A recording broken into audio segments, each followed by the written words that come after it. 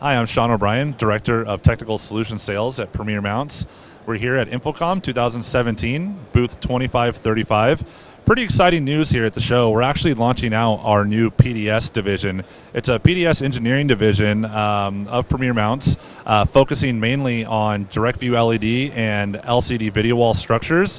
Uh, anything from your architecturally integrated structures to uh, full custom solutions. Uh, my team is dedicated to this, so we won't be focusing on any type of box products or any type of channel sales solutions. Uh, again, mainly just on LED and, LCD structures. Um, we have uh, technical services that we're offering as well, such as on-site installation, um, whether it's full turnkey installations or uh, just project management, where we'll come out to site, work with our partners. Uh, a lot of great things happening here at the show. You can find out more information at our new website for the engineering division, www.pdscustom.com.